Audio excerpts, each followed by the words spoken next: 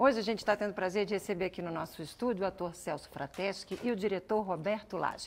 Eles estão trabalhando juntos na peça Trilogia do Subterrâneo. São monólogos baseados no texto do autor russo Dostoiévski. Gente, boa tarde. Boa tarde. Que boa prazer recebê-los aqui. Muito obrigada por terem prazer. aceitado o nosso convite. Prazer, prazer é nosso. A estreia foi na semana passada, final uhum. de semana passada. Uhum. Foi dentro da expectativa de vocês?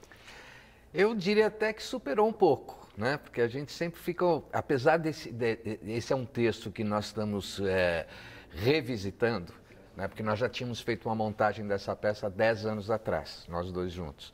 E agora, com a ideia do Celso de montar essa trilogia do subterrâneo, voltamos ao, ao sonho, que está bastante diferente da primeira montagem, e, consequentemente, antes da primeira apresentação, nós sempre ficamos com aquela ansiedade de ver como vai ser recebido pelo público e foi muito bem recebido. Para você, Celso, como é que foi? Ah, é um, a gente fala que é um prazer, assim como se fosse um chavão, mas realmente é um prazer.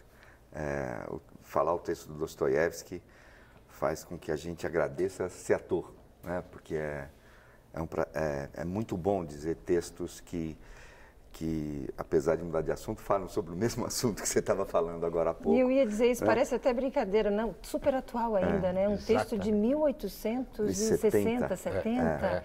Enquanto o Celso vai falando, eu vou pedir para colocar imagens do espetáculo. É. A gente tem imagens aqui, Celso. Tá aí, ó. É um espetáculo. O Dostoiévski ele é atual não pela, pela, pela, pela casca dele, mas pela essência dele. Né? Ele mostra, ele é um autor, um, um artista que revela a verdade, que busca a verdade. E eu acho que hoje, a, levar esse alerta, né, vamos parar de fazer de conta e ver o que realmente é, seria talvez uma, uma grande solução para que essas pessoas que estão lutando contra a democracia estão fazendo. Quer dizer, acho que a gente está vivendo um momento muito grave. Eu vivi a ditadura, fui preso três vezes pela ditadura. Ah, as pessoas não têm ideia do que é um estado de exceção. E principalmente um estado de exceção policial não um estado de exceção militar só, mas policial, onde os poderes, a, a, a, o individualismo é uma coisa muito mais séria.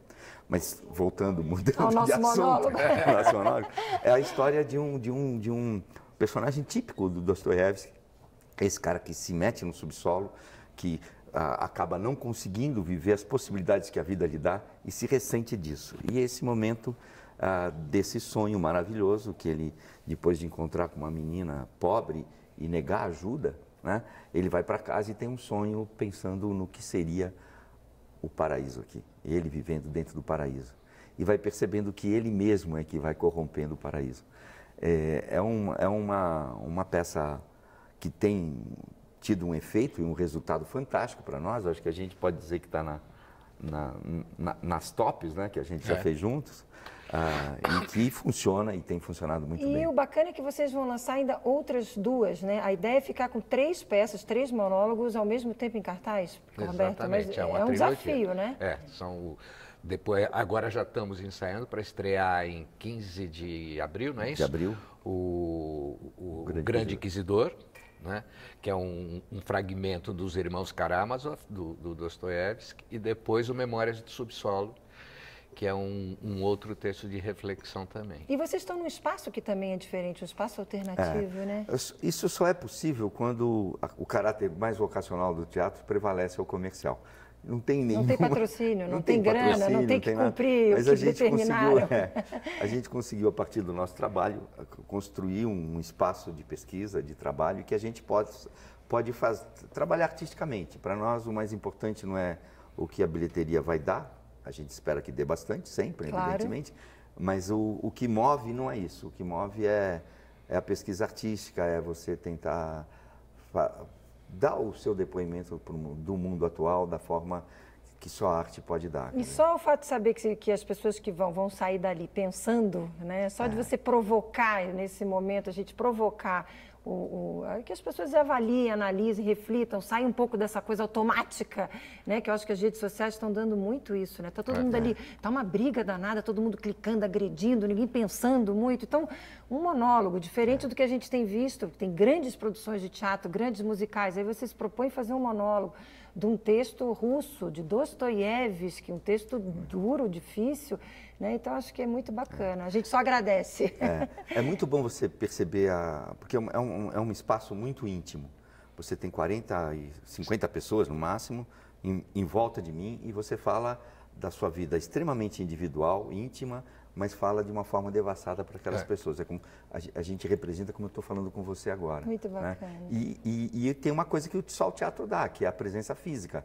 Você está ali mesmo, né? É. Vamos fazer o convite? Quem que faz? Roberto Celso, quem quer fazer o convite? Podemos, posso então, fazer, vamos lá, Roberto. Prazer. Câmera 13 é toda sua, convide o telespectador. Então, é, nós estamos em cartaz no, no Teatro Ágora, na rua Rui Barbosa 672. 672. Estamos com o serviço na tela, que eu vou pedir para deixar aí um pouquinho para é, quem quiser anotar. 672.